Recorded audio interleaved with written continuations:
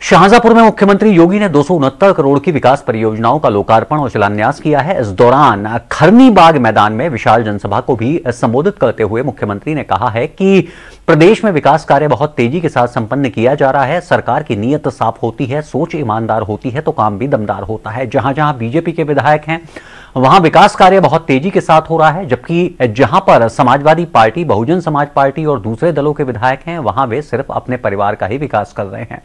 2017 के पहले किसानों से सीधे खरीद नहीं होती थी, मगर अब किसानों के साथ कोई शोषण या अन्याय नहीं होने दिया जा रहा है। साथ ही कहा है कि अब किसानों की यदि कोई शिकायत आती है तो उसकी जवाबदेही भी तय कर दी गई है।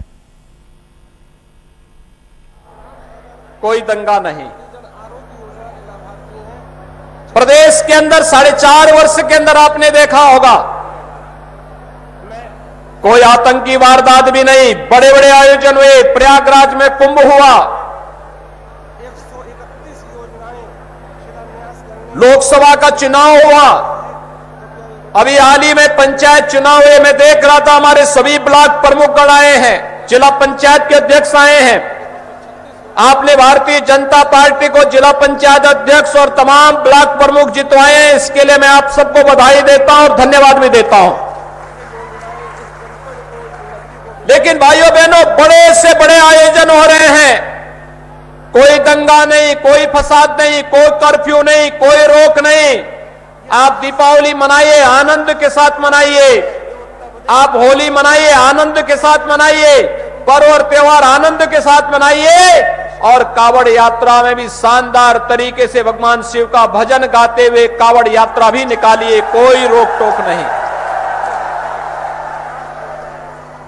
कोई कर्फ्यू नहीं, कोई फरमान नहीं, और आपकी आस्था के सामने अब तो कोरोना भी पस्त हो गया है। कोरोना ने दुनिया को पस्त किया, आपकी आस्था और आपकी उमंग ने कोरोना को पस्त कर दिया।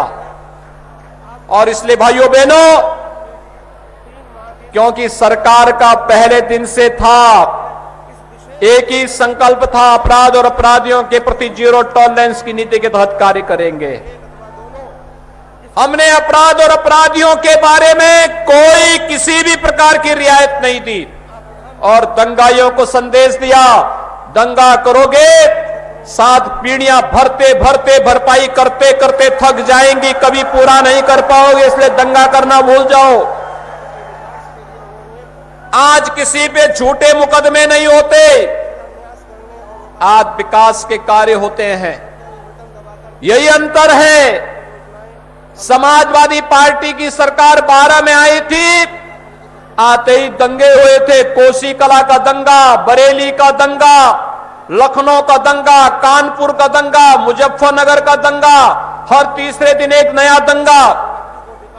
सरकार आई थी, समाजवादी पार्टी की थी, उसने पहला काम किया था।